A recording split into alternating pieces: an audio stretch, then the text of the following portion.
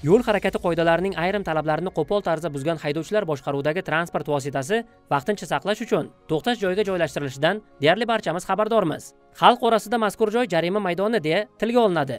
Hozirgi kunda ana shunday maydonlar belgilangan talab va me'yorlarga qay darajada javob beradi?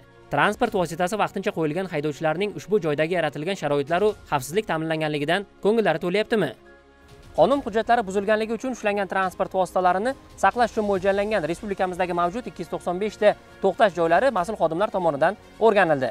O'rganishlar jarayonida to'xtash joylarining umumiy maydoni atrofi o'rab olinganligi transport vositalarining sig'imi yer qoplamasining holati tungi vaqt uchun yoritish choralari ko'rilganligi kuzatuv kameralari bilan jihozlanganligi umuman olganda xavfsizlik hamda qulaylik talablariga mos kelishi yoki yo'qligiga alohida e'tibor qaratildi. Jami ikki yuz to'qson beshta to'xtash joylari o'ttiz to'rt mingta transport vositasini joylashtirish sig'imiga ega ekanligi ushbu to'xtash joylaridan to'qson uchtasining hududi o'ralmaganligi bir yuz yetmish uchtasining hududi asfalt bilan qoplanmaganligi qirq yettitasi kuzatuv kamerasi bilan jihozlanmaganligi oltmish to'qqiztasida kompyuter jamlanmasi mavjud emasligi qirq bittasi tungi vaqtda sun'iy yoritilmaganligi ellik to'rttasida yong'inga qarshi vositalar mavjud emasligi bir yuz ellik sakkiztasida nogironligi bo'lgan shaxslarning transport vositalari uchun alohida joy ajratilmaganligi bir yuz oltitasida esa evakuator mavjud emasligi ma'lum bo'ldi.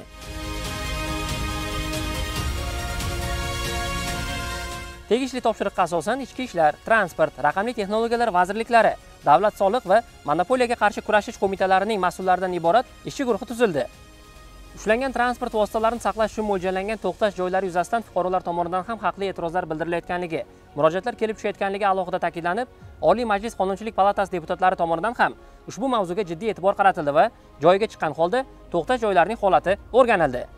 O'rganishlar natijasida aniqlangan kamchiliklar haydovchilar tomonidan berilgan takliflar hamda amaliyotda kuzatilayotgan ayrim noqulayliklar tahlil etilib ularni bartaraf etish qulayliklarni yaratish ovoragarchiliklarga chek qo'yish maqsadida tegishli tartibda qaror loyihasi ishlab chiqildi.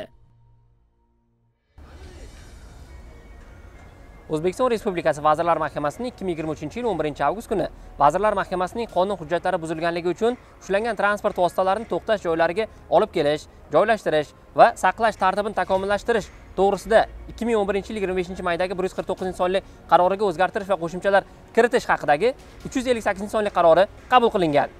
Mazkur qaror rasman e'lon qilingan kundan e'tiboran 3 oy o'tgach ya'ni ikki ming yigirma uchinchi yilning o'n sakkizinchi noyabr kunidan kuchga kirishi belgilangan.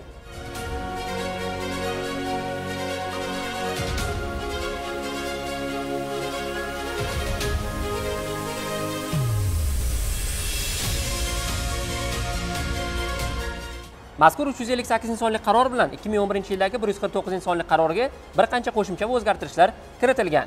Asosiy yangiliklardan biri qonun hujjatlari buzilganligi uchun vakolatli davlat organlari tomonidan ushlangan transport vositalarini to'xtash joylariga olib kelish joylashtirish saqlash hisobini yuritish va olib chiqib ketishga ruxsat berish. Endilikda yo'l harakati xavfsizlik xizmatining yagona axborot tizimiga hamda ushlash vakolatiga ega bo'lgan davlat organlariga integratsiya qilingan jarima maydonchasi axborot tizimi orqali amalga oshiriladi. Quyidagilar jarima maydonchasi axborot tizimining asosiy vazifalari etib belgilandi. Qonun hujjatlari buzilganligi uchun vakolatli davlat organlari tomonidan ushlangan to'xtash joylariga joylashtirilgan va olib chiqishga ruxsat berilgan transport vositalarining ro'yxatini yuritish. Transport vositalarini to'xtash joylaridan olib chiqish uchun barcha to'lovlarni ya'ni jarima maydonchasi va huquqbuzarlik uchun jarimalarni elektron shaklda amalga oshirish qonun hujjatlari buzilganligi uchun vakolatli davlat organlari tomonidan ushlangan transport vositalarini to'xtash joylaridan olib chiqishga ruxsatnomani saqlash xizmatlarini ko'rsatuvchi yuridik shaxslarga elektron shaklda taqdim etish. ikki ming yigirma to'rtinchi yil birinchi yanvarga qadar mahalliy ijro etuvchi hokimiyat organlari bilan birgalikda ushlangan transport vositalarini saqlash bo'yicha faoliyat yuritayotgan joylarni belgilangan talablarga muvofiqlashtirish choralarini ko'rish lozimligi belgilandi. Qarorning asosiy maqsadi qonun hujjatlari buzilganligi uchun ushlangan transport vositalarini to'xtash joylariga olib kelish joylashtirish. Shuningdek ushbu transport vositalarini saqlash xizmatlarini ko'rsatuvchi yuridik shaxslarni tanlash jarayonlariga elektron axborot tizimlarini keng joriy etish va ochiqlik hamda shaffoflikni ta'minlashdan iboratdir.